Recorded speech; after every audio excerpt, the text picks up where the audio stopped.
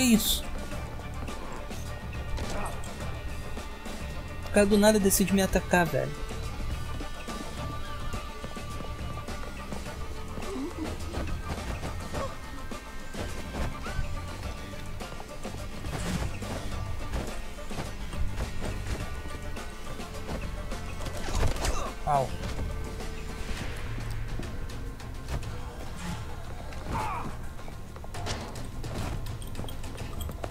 Vai, vai, Tyrion. Tyrion. Au. Ai, caralho, os caras não param. Puta que... Vai dizer que eles ainda estão me atirando.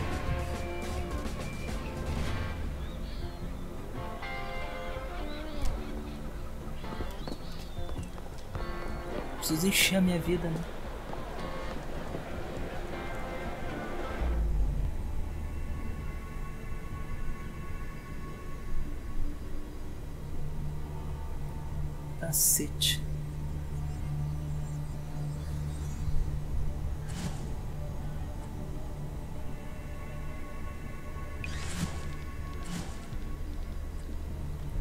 Foi isso?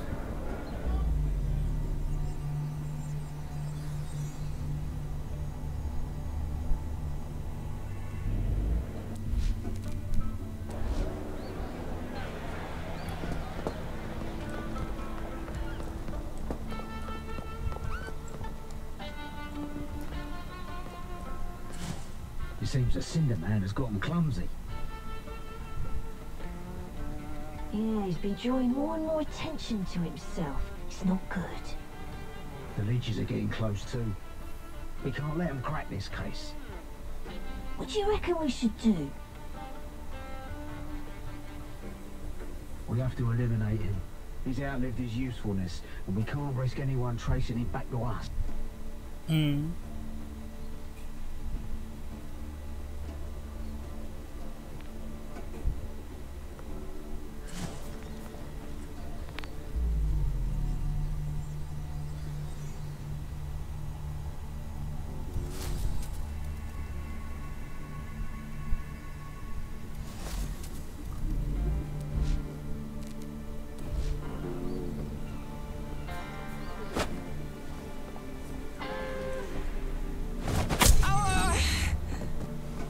Não morre um golpe, velho.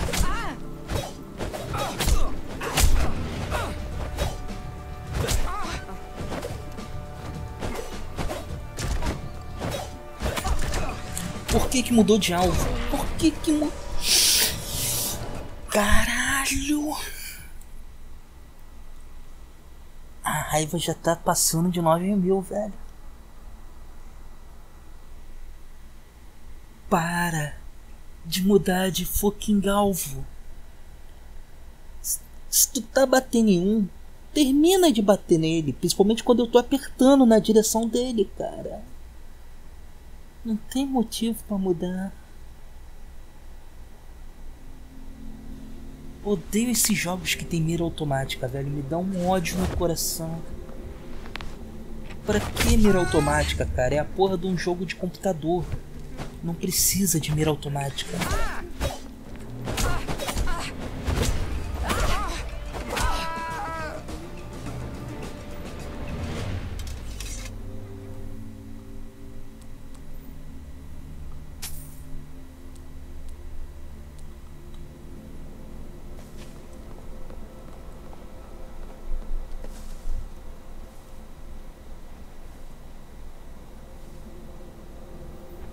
Ah, salva essa merda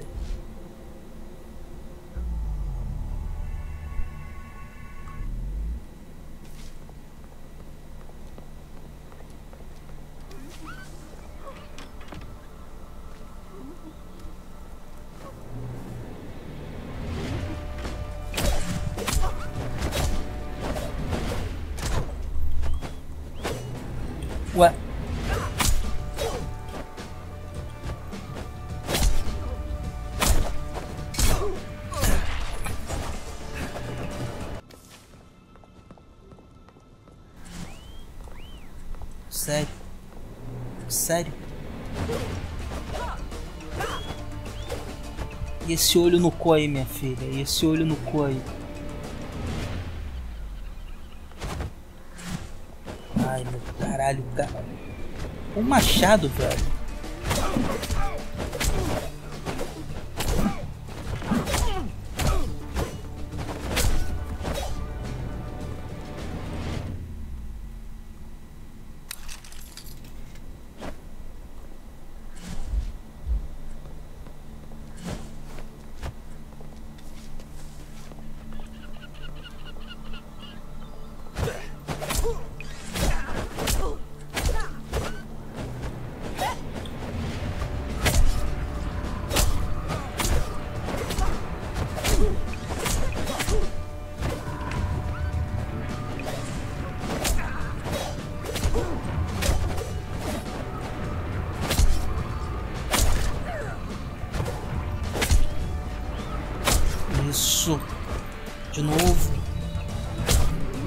Isso. Mais uma.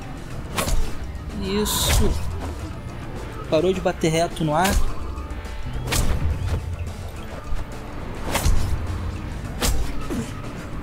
Pronto.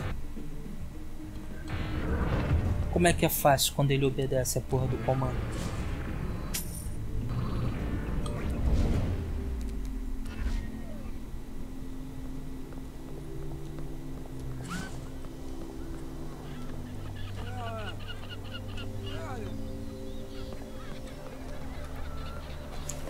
Questão é como é que eu entro agora.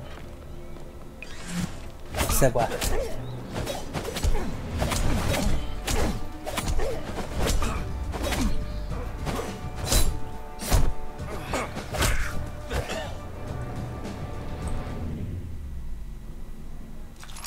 Ok. Eu tô cheio de cartão de acesso nível 2, velho. Não sei o que eu faço com tanto cartão de acesso e chave repetida.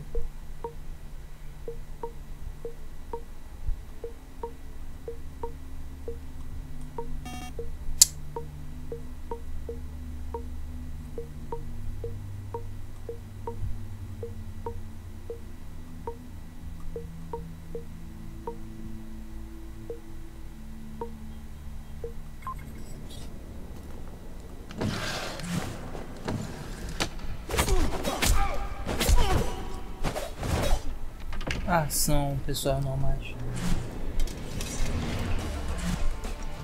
Alguém tá armado.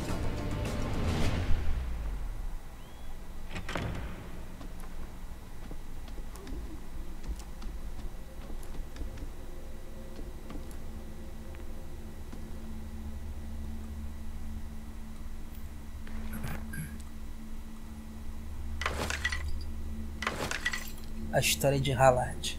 Capítulo 9 Halard o quinto passo de Drugun. Drugun.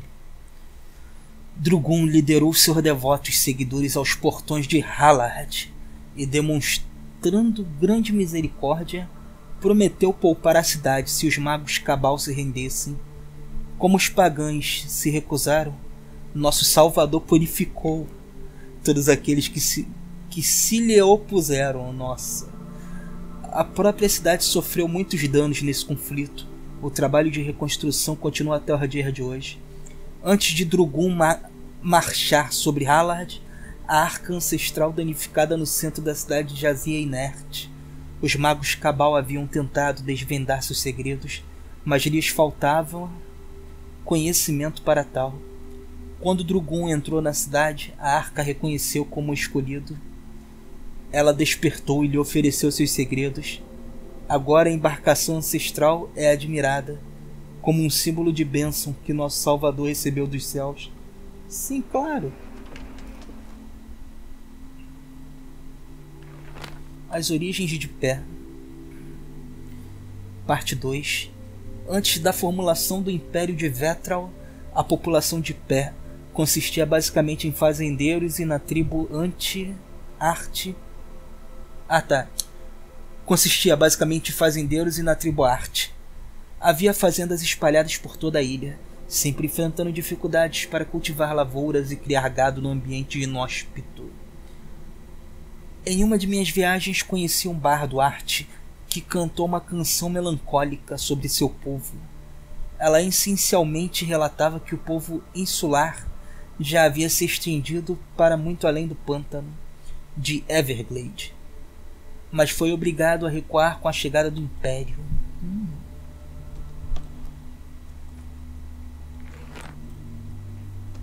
Ué, eu já tinha ele então. Não. Aqui ó, tem um par de meias aqui ó. Oi.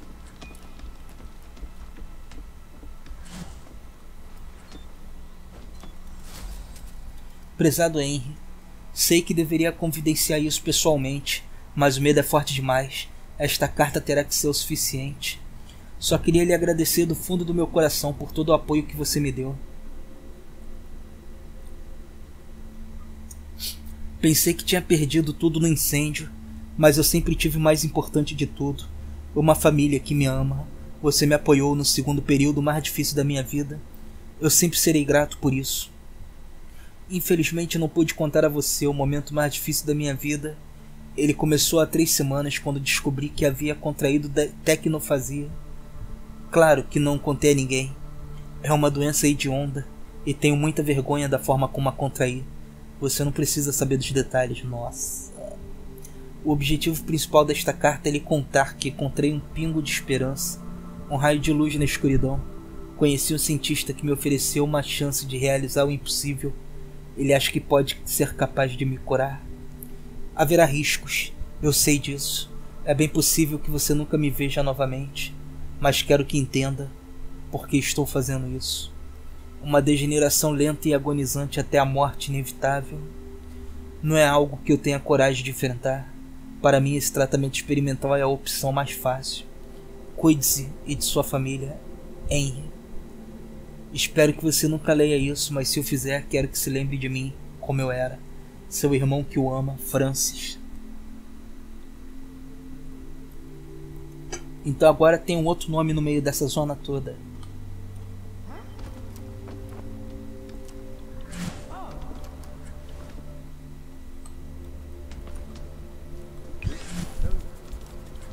Cara, sai daí, eu quero investigar é no andar de cima, porra.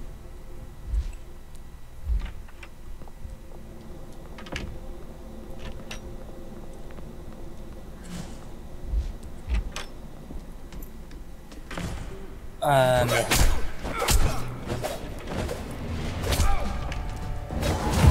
Que? Sério? Ele tá com magia.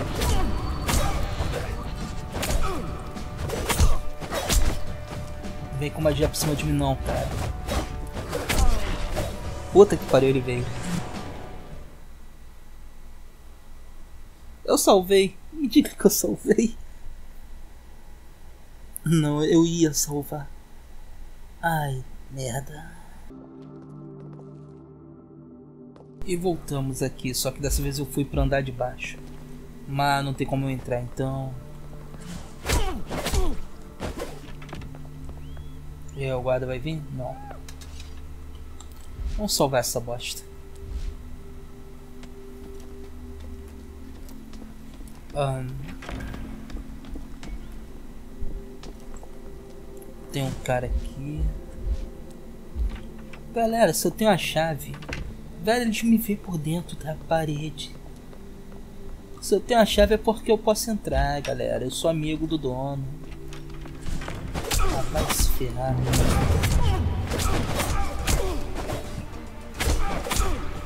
Usar essa tua viadagem outro.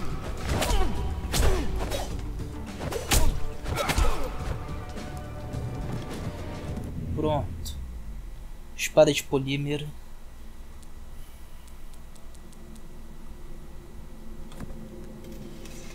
Cara tem semente de girassol. Where's the body? Did someone combust there? It appears so. I have detected another tech rot cloud. It's stronger than in the previous location. Perhaps we should look for a similar concentration of airborne tech rot. Hmm.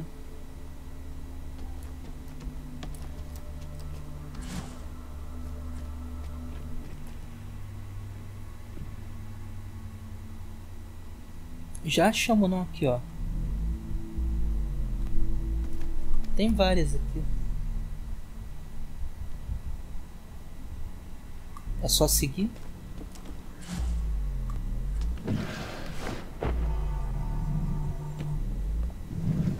Não, não é seguir.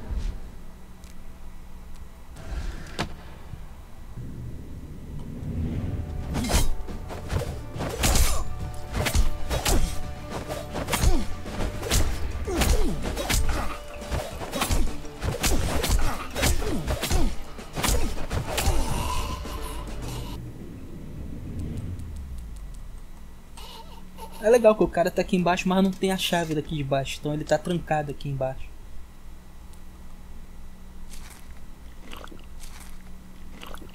Tá aí, tá. É uma boa forma do, de você garantir que seus trabalhadores estão fazendo o trabalho escravo deles.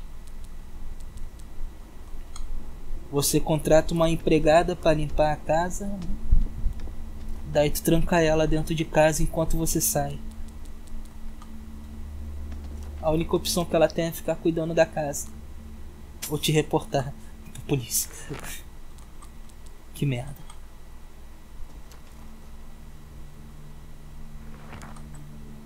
Opa. As origens de Pé, parte 3.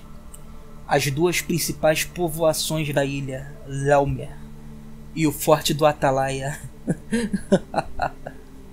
são anteriores ao interesse do Império de Vetral em pé.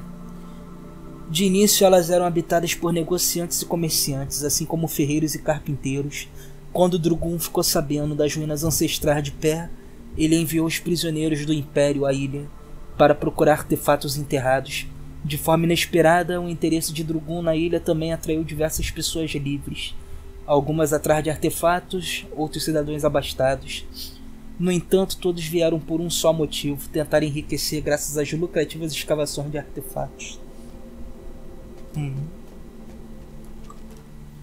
Pé tá bem, né?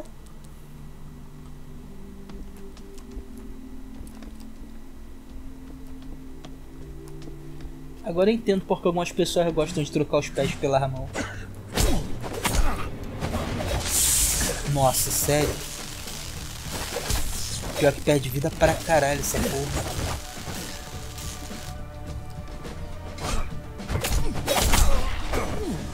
Uma porrada! Eu não salvei, salvei. Acho que não. Tá aí um livro que eu não tinha visto ainda. A Herança de Balenhurst, parte 1. Antes de chegar à adolescência, Elgar Balenhurst já conhecia bem sua posição social como o filho mais velho do rico socialite Lord Morik Balenhurst. É, Lord Morris Balenhurst. Elgar sabia que estava na linha de sucessão e herdaria a vasta riqueza de seu pai e a propriedade de Mata Negra. Bastien, quatro anos mais novo que Elgar, passou por sua infância alegremente, ignorante de sua posição inferior. A situação se intensificou quando Elgar ingressou em sua adolescência ele ficava cada vez mais arrogante e brincava ainda menos com seu irmão menor. Assim como acontece com muitos jovens e consequentes da alta sociedade de pé, o Scratch acabou chegando aos bolsos de Elgar. Elgar começou a ostentar seu rico patrimônio, tanto para o povo comum quanto a seu irmão. O Lord Balenhurst chamou o rapaz a seu escritório pela primeira vez no seu 16º aniversário.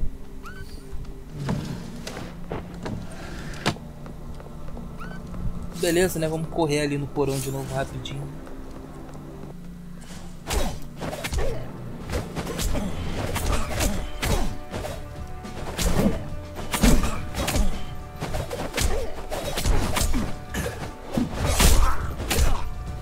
Ah, legal que ele já vem atacando de meio metro, né?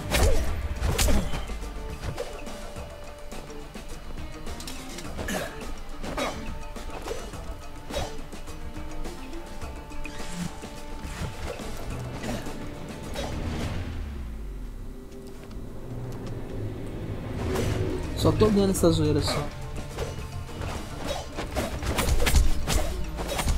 Ele não.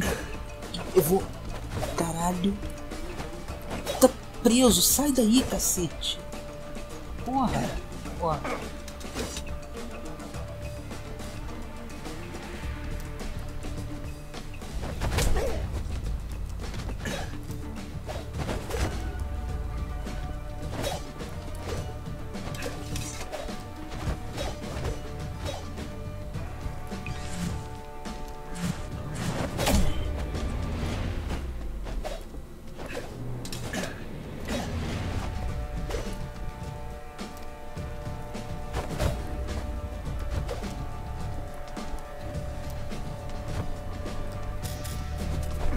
tô sem energia. Nossa. Quase que eu levei duas vezes. Caralho. Eu tô brincando, cara. Eu vou acabar me ferrando ainda.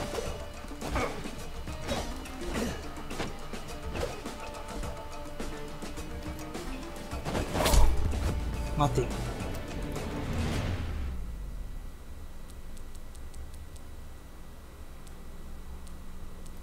Foda que ele não tem nada de bom. Só as coisas que eu já tenho mesmo. Espada de polímero é a que eu tô usando. 28 de dano, né? Deixa eu ver a minha.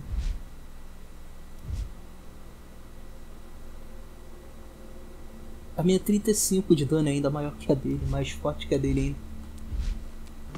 Que eu não vi ainda o que, tem pra cá. Caro Sr. Malkin, até pouco tempo atrás eu era um grande admirador de seus diários de viagem e, portanto, não gostaria de que minha crítica fosse divulgada. Devo, no entanto, expressar minha decepção com sua mais recente publicação. Se eu quisesse ler histórias de fantasia, procuraria Elstan. Eu leio seus diários em busca de conselhos práticos. Imagina minha confusão, portanto, quando vi seu relato ridículo sobre a cirrositra, cirrocidra.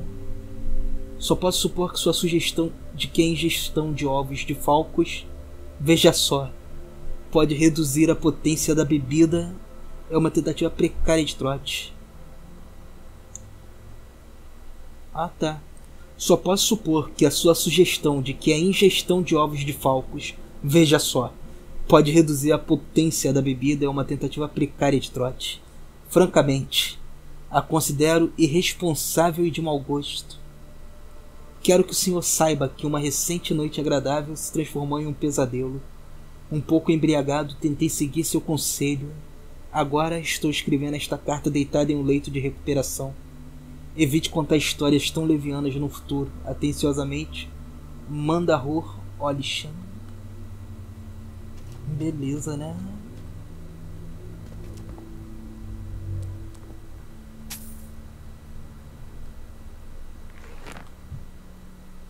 Nossa. A Ordem de Ulunzar. Qualquer texto sobre a mítica ordem conhecida como Ulunzar terá que ser breve. Se não for, provavelmente estará cheio de baboseira. Uma das poucas teorias amplamente aceitas sobre a Ulunzar, os Ulunzar, é que eles adoram os demônios. Apesar dessa atitude Eres, o Império de Veltrel não parece persegui-los. Para dizer a verdade, não faço a menor ideia do porquê o Imperador faz vista grossa. Há vários outros incógnitas também. Há várias outras incógnitas também. Não sabemos quantos membros a Ordem possui, ou onde ela se originou. Nunca houve nenhum encontro luzar registrado, mas às vezes o indivíduo é encontrado fazendo algo de estranho. Darei prosseguimentos à minha pesquisa antes, até me sentir atraído por outra coisa, tá bom?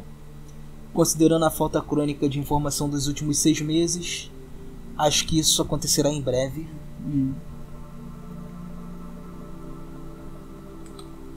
Os caras tá, tá, tem um grupo meio louco nesse mundo, viu?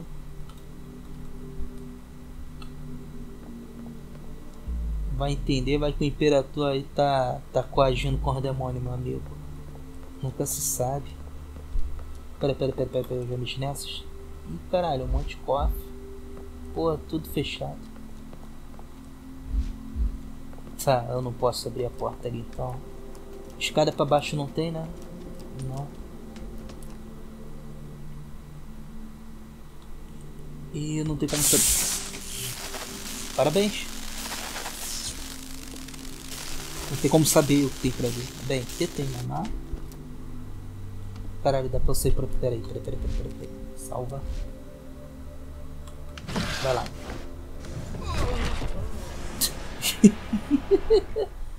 Eu sabia que não ia ficar ali em cima.